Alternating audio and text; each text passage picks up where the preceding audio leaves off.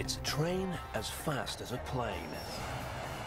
This is maglev, a revolutionary transportation system. Yeah, maglev is not rocket science.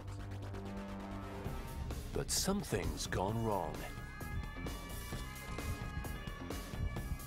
In the world's first crash of a magnetic levitation vehicle, 23 people die. This is the story behind the future of transport.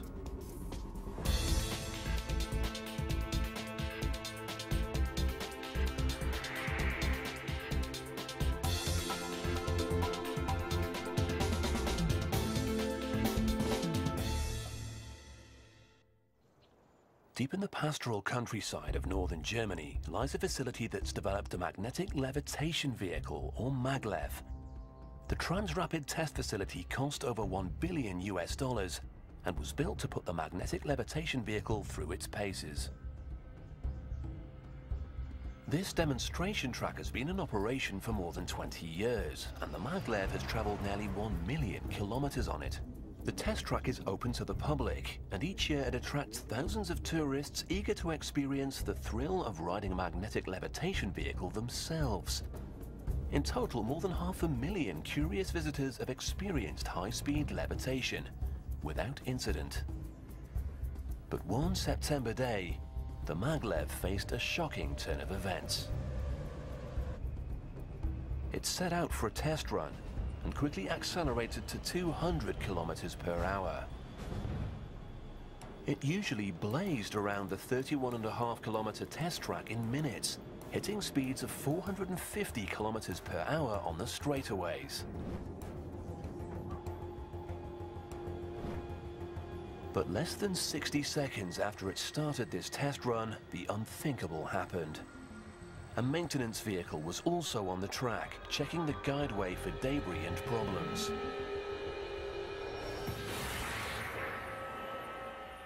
It was the first major accident for a technology that had been a century in the making. An investigation got underway. Questions were asked about what had happened and why. And there was a great deal at stake, because maglev was on the verge of a breakthrough. It was ready to change the way we travel in the 21st century, just as the aeroplane did in the last. Maglev is a magnetically propelled vehicle that floats above a guideway and can travel at speeds of more than 500 kilometers per hour without really leaving the ground. And it's driverless. Most people haven't heard of it, but according to these experts, future generations will head to the Maglev station instead of the airport. If what they say is true, Maglev is in a transportation league of its own. It offers the possibility of interurban commuting at speeds faster than a Formula One race car. With Maglev, the speed of an aircraft meets the convenience of a train, offering fast loading and unloading at stations located right in the heart of town.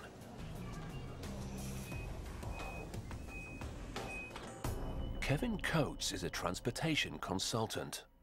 It's phenomenal. So you can actually plan your trip. Imagine this traveling around the United States and moving from city to city, uh, typically for trips 500 miles or less, moving from city to city and being on time to the second on every trip.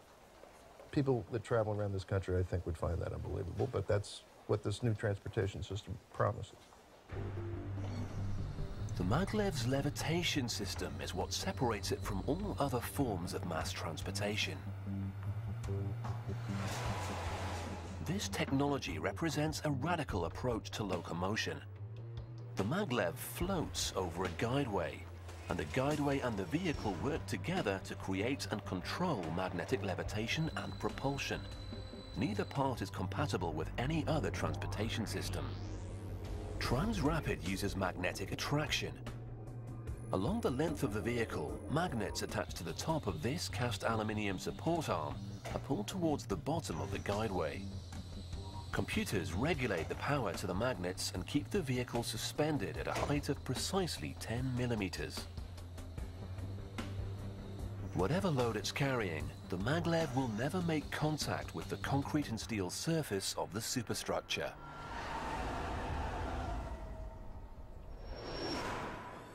Each maglev vehicle weighs 50 tons and is able to carry a further 20 tons of cargo, making it heavier than a tank. And this sophisticated levitation system not only lifts and then suspends 70 tons of vehicle and cargo, it also propels it at speeds of more than 400 kilometers per hour, always 10 millimeters above the guideway. It sounds incredible.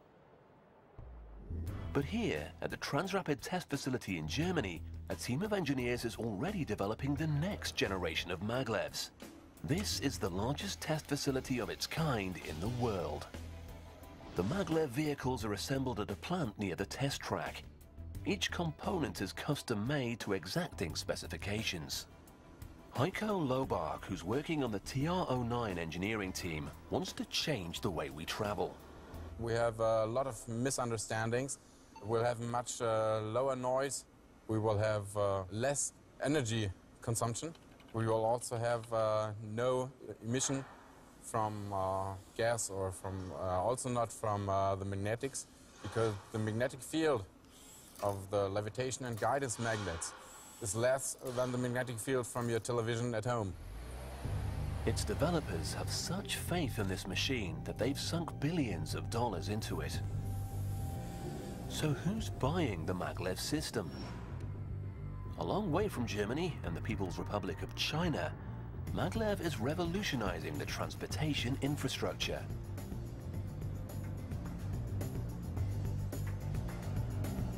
China is quickly emerging as an economic powerhouse, and it's decided to start building magnetic levitation systems. Leaders here can see a lot of benefits. The nation has a population of 1.3 billion people, and they need to find an efficient way to move both people and products in the shadow of a looming fossil fuel shortage. They're planning for the future, and that plan includes maglev. They first ordered a 30-kilometer maglev system to run from downtown Shanghai to its international airport at a cost of 1.2 billion US dollars. But the Transrapid engineers knew that this first contract was really an audition. The government here was also planning additional lines and wanted to expand maglevs throughout China. Prospective maglev lines included one between Shanghai and the tourist town of Hangzhou, a 170 kilometer line with a budget of $4 billion, and a connection between Shanghai and Beijing, over 1,200 kilometers, with a price tag of $22 billion. That's the equivalent of 18 million US dollars per kilometer. So why did the Chinese buyers decide to invest in this technology when there were already so many planes and high-speed trains? And why would they bank the future of their economy on a prototype? For the engineers at Transrapid, the answer to this is simple. There's a major problem with the world's transportation system.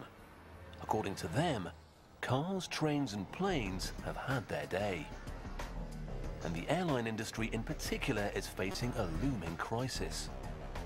People love jets because they're fast, convenient and have reduced the time required for long-distance travel.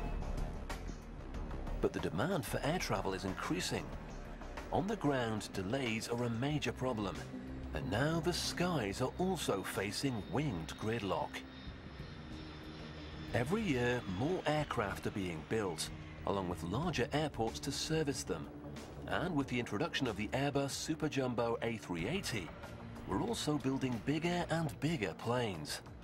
But this solution does nothing to address the other major problem facing airlines, skyrocketing fuel costs. A 747 burns 170 litres a minute, enough fuel to fill three cars every 60 seconds. And that, according to the maglev experts, is critical. And as oil gets more expensive, and it will, as it becomes more rare and more people are demanding it, the cost of flying is going to increase. There's no way around it. And if that's the case, people are going to look elsewhere for a viable transportation system that can replace air travel. Transrapid charged its engineers with finding the Achilles heel of the airline industry. It discovered that the weakness is the short-haul flight of under 700 kilometers. In the US, flights of less than 1,000 kilometers make up about 50% of the airline market. They're costly, inefficient, and plug the skies with aircraft. So Transrapid designed its maglev system to break the airline industry's grip on these short-haul routes and replace them with a fast, environmentally friendly and cost-effective solution. And China was the first customer. The Chinese government recognized the potential of maglev and ordered the first commercial magnetic levitation system in the world. But then it had to be built, and that's where the problems began. Just like the research phases of the aeroplane, car, train, and spacecraft, the maglev was in development for decades. Railroads in Germany had a long history of innovation dating back to 1835. Trains there were traveling at over 200 kilometers per hour in the 1930s. A scale model is displayed on a mile-long test track, hitting speeds up to 93 miles an hour, taking the 45-degree turns without a shudder. It was in the 1930s that German inventor Hermann Kemper first dreamed of a train without wheels. A system that would harness the power of magnets to both lift and propel vehicles forward. But two major problems slowed down its production. The first was the power of computers. Powerful electronic components such as computers were necessary to control the system, so it would be decades before the theories could be tested.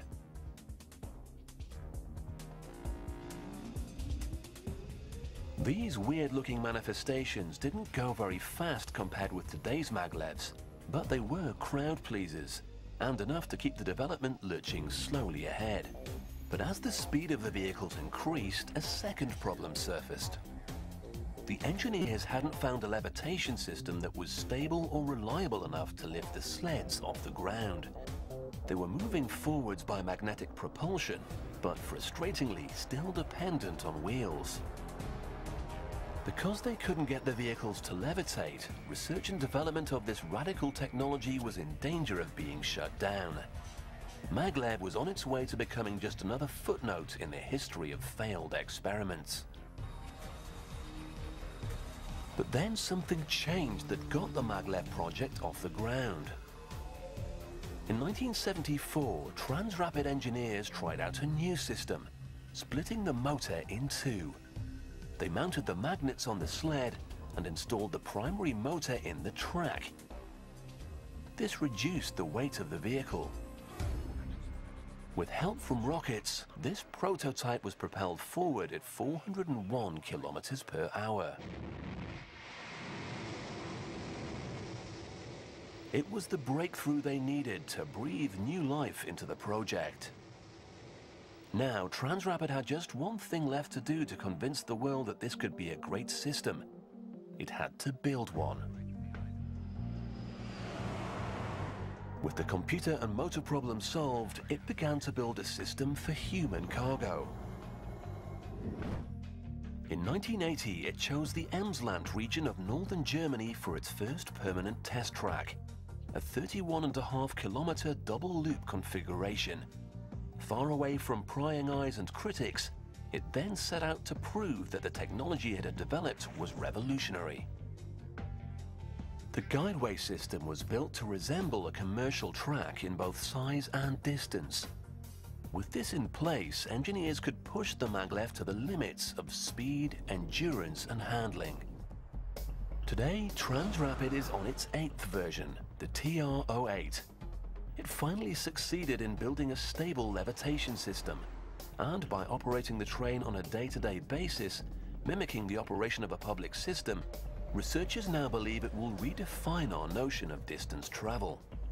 The maglev system combines the technology of conventional rail and the time advantage of air travel, making for an energy-efficient and low-maintenance, high-speed ground transportation. But many countries, including the United States and much of Europe, continue to shun the system. Critics suggest that maglev is too much of an untested system to build from scratch. In America, high-speed trains are almost non-existent and plans for their introduction remain in limbo. Kevin Coates is frustrated by the lack of interest in maglev. All these guys are rail guys, and they don't want to go with something new that they don't understand, and that's a problem. And all these consulting engineers that are out there, you know, trying to advise government agencies what to do are going with what they know. And they don't know maglev. They know rail. They know light rail. Well, light rail is a fancy name for trolleys. We've already been down the road with trolleys. But in China, people understand the need to move beyond regular rail transportation, which is considered an outdated system. Indeed, what got the Chinese government really interested in the maglev was the incredible future potential of the technology. They knew that if it worked, it could change transportation throughout China. And what better place to test the first commercial track than the city of Shanghai? This bustling metropolis is home to 20 million people. It's a place where old China is being swept aside and a new, modern China is emerging from the rubble. The Chinese are building the city of the future here, and they want to set the standard. Business professionals are attracted to Shanghai because of its modern environment and new job opportunities. And that can create problems on the streets. Previous predictions indicated that more than 2 million vehicles would clog the streets in the coming years, and new highways were becoming overrun as soon as they were built. The reason the Chinese decided not to go with airports or highway systems, they realized that moving people between cities using electricity is a sustainable solution for their future transportation needs. In March 2001, construction began on a high-speed connection between Shanghai and Pudong International Airport. The first step toward building a transportation infrastructure for this modern economy. A trip that took an hour in a car in congested traffic producing noise and pollution could potentially take seven and a half minutes on a maglev line gate to gate.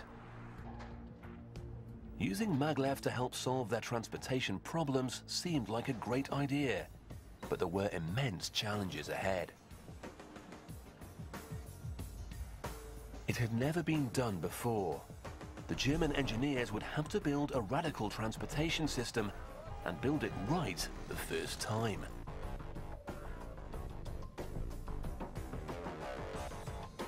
And they'd have to deal with the sinking ground under Shanghai, over the last century, it's sunk by more than two meters, and there's no end in sight. The job of building the guideway system was given to Chinese engineers. They began to build the monster motor that would stretch from downtown Shanghai to its international airport. The first phase of this mega project was to clear the route. They had to pull down buildings and move people who lived along the way. But the real problems began when they looked at the soil underneath those homes. The entire route sat on the floodplains of the Yangtze and Huangpu rivers. Silt and sand had been deposited there over millions of years, and the soft, unstable ground wouldn't support the massive infrastructure needed for the maglev. Carlos Ventura is a structural engineer.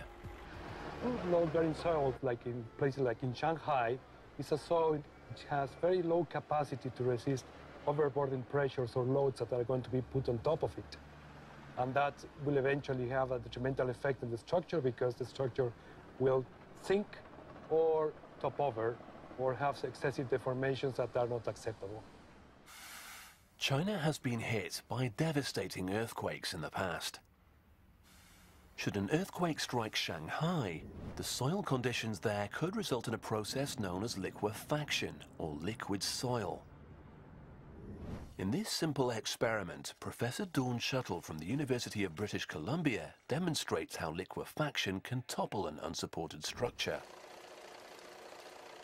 When the earthquake happens, the particles of sand try to move into a denser configuration, but because the water's in the way, the load is instantaneously transferred to the water rather than the soil, and the building will sink.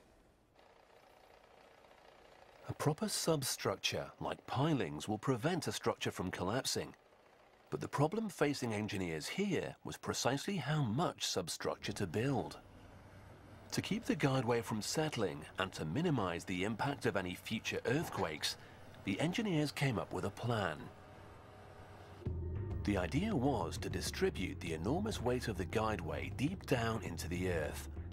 The guideway sections would be mounted on a series of piers positioned every 25 meters along the route.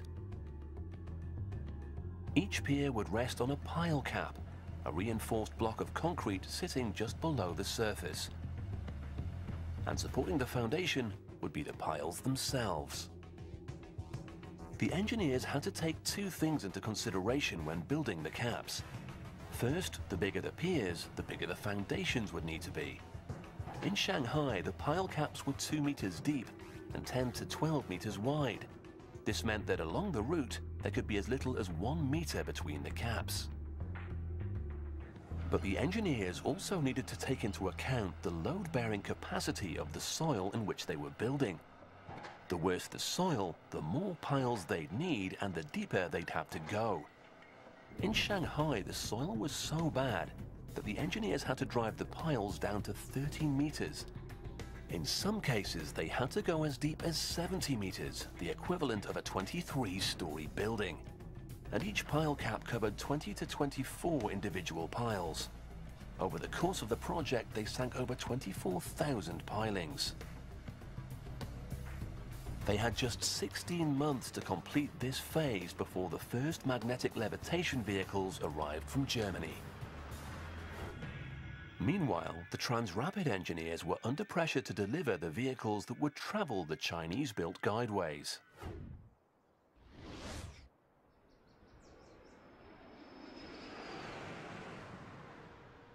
They'd never built a commercial maglev system before. They'd only ever delivered prototypes. But this wasn't a trial product. The Chinese needed it to work, and work flawlessly. Having landed the billion-dollar Shanghai maglev project, they had just 22 months to deliver. The plan called for taking the TR-08 prototype to large-scale production. The passenger compartment presented few challenges because this section was built like any other passenger train compartment. But that's where the comparison ended. Unlike a typical train, which has one locomotive pulling many cars, the entire maglev is a propulsion and levitation unit. For Shanghai, the pressure was on to build 15 distinct propulsion systems, on a nearly impossible schedule. A maglev has virtually no moving parts and no generators to provide power to the lights, computers and electronics housed in the carriage. Once it's underway, it draws power from the grid to activate the magnets. Giant batteries store energy to supply the lights and power the onboard computers during operation. They also act as a backup for the magnets, in the event of a power failure, the maglev won't drop suddenly to the guideway because the batteries will kick in and hold it up for long enough so that it can be brought to a smooth stop.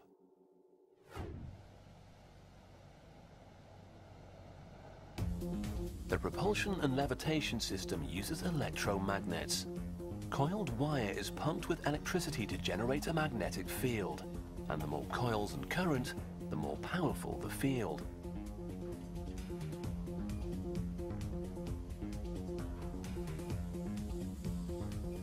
How many magnets are on board and how much each one can lift are trade secrets. But by controlling their energy, Transrapid uncovered the key to lifting and propelling their 70-ton vehicle.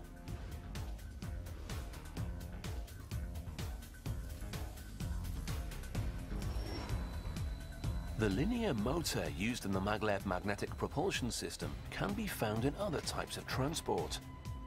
A linear motor is used whenever fast, stable acceleration is required. And sometimes that means fun and games. At this amusement park, magnetic propulsion technology adapted from maglev is used to propel this sled and its riders at high speeds. The object of the exercise is to give customers a taste of the G-forces that magnetic technology can offer. It's one of the fastest rides in the United States. Passengers are blasted from 0 to 160 kilometers per hour in just 7 seconds. They rocket up a 41-story tower Stop and hang for six and a half seconds in complete weightlessness as the sled comes to a stop, and then begin the terrifying backwards descent.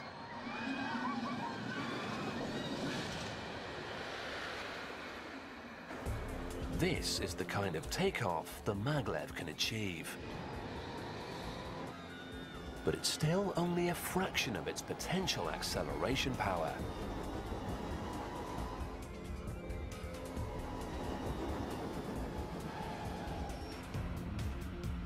The Navy is adapting maglev propulsion for their catapults on board aircraft carriers. They currently rely on steam-driven pistons to launch aircraft.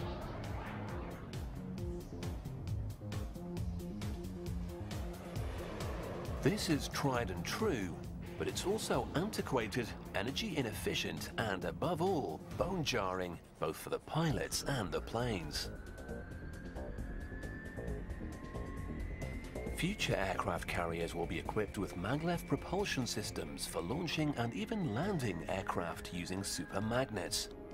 The advantage is greater control and longer aircraft life. And that means control over how much power to apply according to the weight of the aircraft.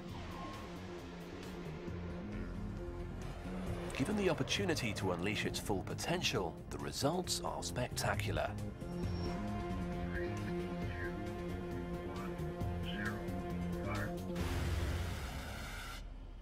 At the Holloman Air Force Base in the New Mexico desert, there's a test track which uses a rocket-propelled sled to test weapon systems up to Mach 8.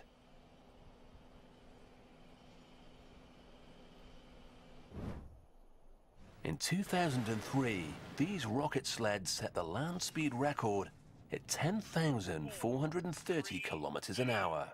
One, zero, fire.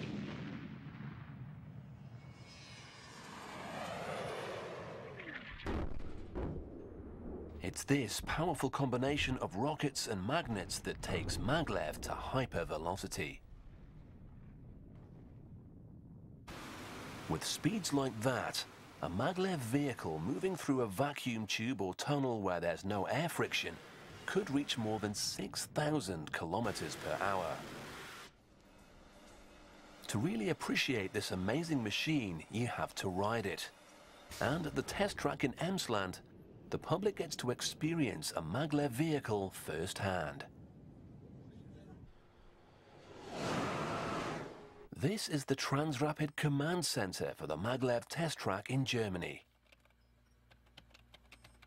We have a 32 kilometer long guideway here with about 8 kilometers of straight track for high-speed testing and in the northern part and the southern part of the test track we have a loop and uh, by this configuration, it's also possible uh, to uh, perform duration test rides with the vehicle. After careful inspection in the hangar, the command center gives the green light and the maglev is ready for its high-speed test run. With the click of a mouse, the computers activate the magnets and the maglev begins to defy gravity. This thoroughbred train is now ready to stretch its legs. Today, it'll hit a cruising speed of 400 kilometers an hour. With the technicians in place, the speed test begins. These men and women are the only human parts of an entirely computer-controlled operation. Transrapid believes that by taking humans out of the operation equation, it has a smarter, safer system, so it's handed control over to computers. The top speed of the Transrapid's 310 miles per hour or 500 kilometers per hour. You know, at those speeds, human beings can't react fast enough. They're, they're used to keep the vehicle the exact distance from the guideway so that you get a smooth ride, and then computers are also uh, controlling the power that's delivered to the vehicle from the track to propel it. At this full-scale test facility, every run has a purpose, to further the technology. The maglev is fully automatic, so computers control the acceleration. It's strong and steady, but gradual enough that passengers are not thrown back in their seats. First time I rode the maglev was in Germany at the test track, and I was in the lead carriage and uh, looking out the window. And what's really amazing about that experience is that as the vehicle moves down the track, you almost feel like you're looking at a video uh, animation of something. It's so smooth. There's really, it, it seems unreal that anything moving that fast could actually be that smooth. And the reality is that the precision between the vehicles and the guideway is so exact that vibration is very, it's, it's cut to absolute minimum. But there's no time for the technicians to take in the scenery. They're entirely absorbed in the test run.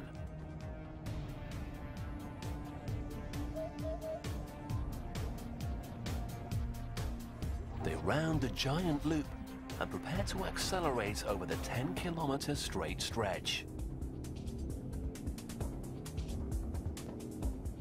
The maglev will run up to its maximum speed on this test.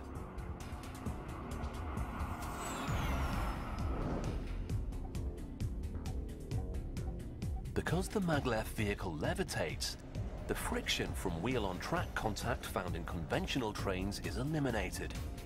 This means higher speeds and faster rates of acceleration and deceleration. Power is measured not in horses, but in bytes and kilowatts. These supercomputers make millions of calculations per second, sending and receiving information from the magnets and the guideway to keep the maglev stable and moving forward. It's sort of like a surfboard riding on a wave, a magnetic wave, and that's how it's propelled. And how the engineers propel the Transrapid is by speeding up the wave in the, in the guideway.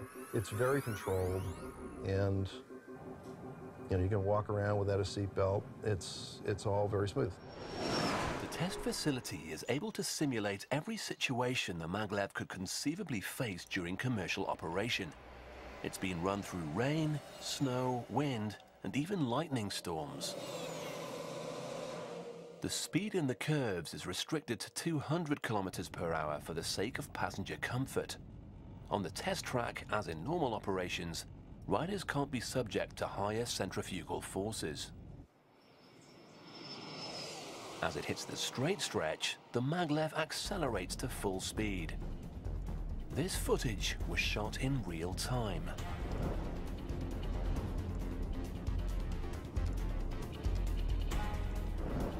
The technicians gather data for analysis, and the speed and performance of the maglev is carefully watched back at the command center.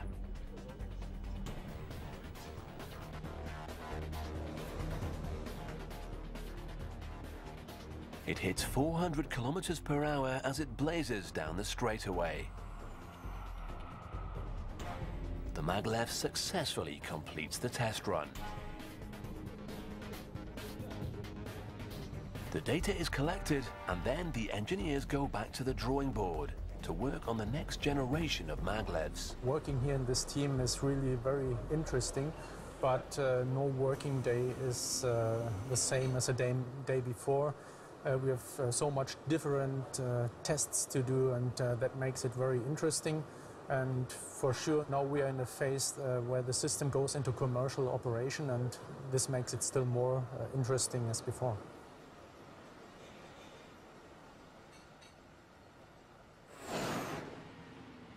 The world's first maglev was delivered to Shanghai in the summer of 2002, and the heavy lifting began. Any failure could be measured in fractions of a millimeter. Workers began the delicate operation of picking up the passenger compartment. It was a matter of only a few months since they'd started to build the maglev, and careful watch was kept on every step as the chassis and the passenger compartment were put together. The computers were mounted. Then it was time for the moment of truth. When they applied power, would it lift off? Switches were thrown and the carriage began to levitate.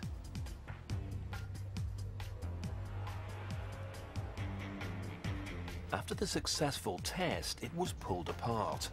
The upper chassis separated from the propulsion system. The carriage sections were then loaded onto flatbeds and taken to a cargo ship for the journey to Shanghai. But two problems remained. Transrapid had managed to make three cars in 15 months, but it had to deliver 12 more over the following 12 months. And would these carriages assembled so carefully in Germany work on the guideway constructed in Shanghai? The results had the potential to be the biggest thing since the locomotive, or a billion dollar disaster. On the 11th of September 2002, a mere 18 months after the start of construction, the maglev carriages were mounted on the guideways, and the trial run began.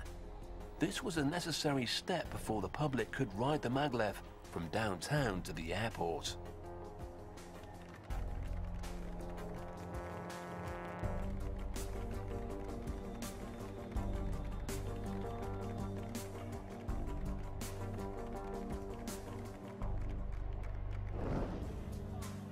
With the pomp and ceremony behind them, it was now time for the engineers to prove that the concept worked. The German and Chinese construction teams came from different engineering traditions and systems. Would they have managed to overcome the problems of time and distance and execute design specs with system tolerances of less than 2 millimeters? The guideways in Shanghai were an adaptation of the German engineered version. Instead of building a 50 meter long guideway beam, the Chinese engineers cut that in half and used 25 meter girders instead. This doubled the work and the number of guideway beams required for the 30 kilometer stretch, but it made it easier to transport and assemble the spans, and meant that the Chinese team was able to meet the construction deadline. Even for the experts, this was a technical marvel. In Shanghai, you've got a 19 mile long guideway uh, system that is built to within one millimeter tolerance through its entire length. And to my knowledge, there's nothing in the world that comes as close uh, to that level of precision. To keep the guideway within the strict operating specifications, engineers used an adjustable bearing system which allowed them to correct the guideways if they settled. The three-way bearing system raised or lowered the guideway beam to adjust for settling. There were more than 10,000 adjustable bearings along the entire route. But not all the guideway sections were rigid pieces of concrete. Some were made of steel. These steel switches could be bent on command, allowing the train to change guideways. But the speed was limited to 200 kilometers per hour in the curves. The problem was the human passengers. A sudden change in direction at high speed would throw passengers around.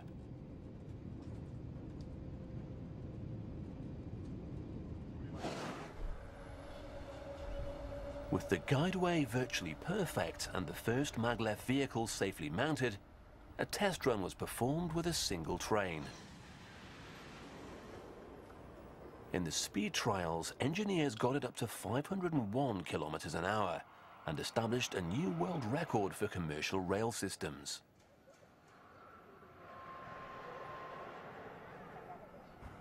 But they had one more hurdle to face. There were two guideways running side by side. They now had to run two vehicles past each other. The trains would pass in close proximity at a combined speed of 860 kilometers per hour.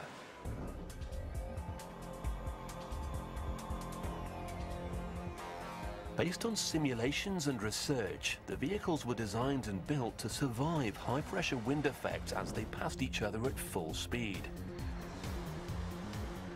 But an actual passing test had never been done before. The engineers couldn't sign off for public use until this test was completed. One left from the Longyang Road station downtown and the other from the Shanghai airport station. In just over three and a half minutes, they'd reached the halfway point on the line where the vehicles would pass. Each accelerated to a top velocity of 430 kilometers an hour and would sustain this velocity for less than a minute. At a combined speed of 860 kilometers an hour, the maglevs passed each other. It was a major success for the team the Maglevs survived this critical trial run intact. Now just one question remained. Would people pay to use it? The Chinese flocked to this new system and within three years, 8 million passengers had ridden the Shanghai Maglev. It's truly a phenomenal transportation mode, and it's, it, it's the reliability aspect of it that I, I'm most impressed with. It's 19 miles apart. The trip's about 7 minutes and 30 seconds.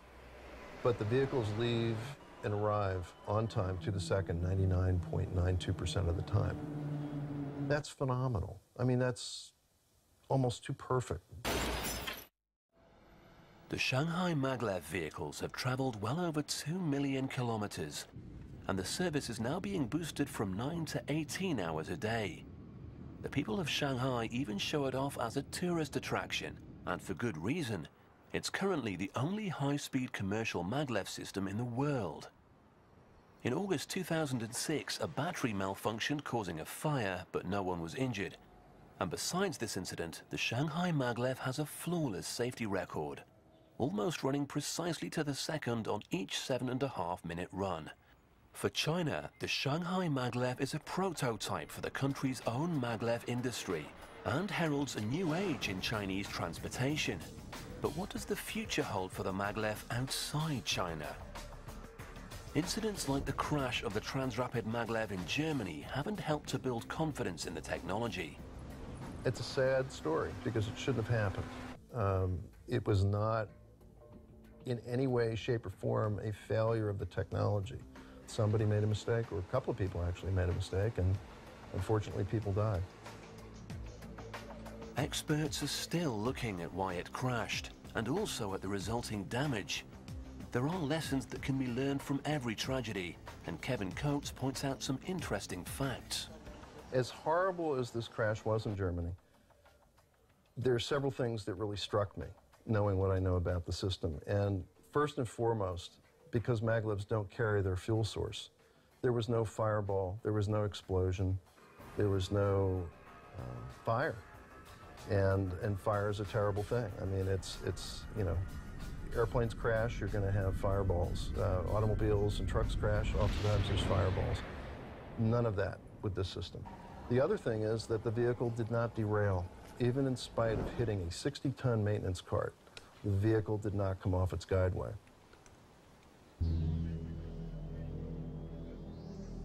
Derailing can be a major problem with conventional rail systems.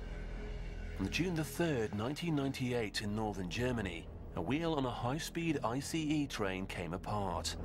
The train derailed at 200 kilometers per hour. The force of the cars as they slammed into each other caused death and injury for passengers throughout the entire length of the train. 101 people were killed and 105 passengers suffered critical injuries. But this kind of accident, where the vehicles jackknife and tumble, is practically impossible with the maglev system. It did not jackknife, it did not scissor. And as a result of that, people can be rest assured that if these systems are running through their communities, that they do not have to fear collateral damage in the case of some sort of an impact. Although I would venture to say that an impact like this would not happen on a commercial line. In fact, in Shanghai, the chance of a similar accident occurring is highly unlikely. Because it's a commercial line, fail-safe systems are in place, And if the computer detects anything on the track, it immediately shuts it down. But the experimental track in Germany has manual system overrides to allow operators to test different speeds. It shows me that you can, you can plan all you want to try to remove um, the human being from the operations of a, of a high-speed transportation system, but somebody has to push the go button. And somebody did, and they did it at the wrong time. But in spite of that, in spite of the terrible loss of life, I remain absolutely 100% convinced that there's no safer transportation system in the world.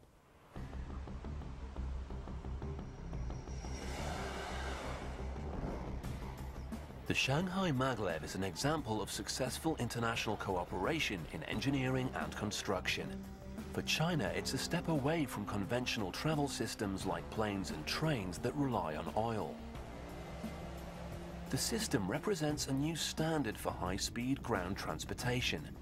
And as populations increase around the world and urban centers become more congested, pressure is being put on our current transportation infrastructures.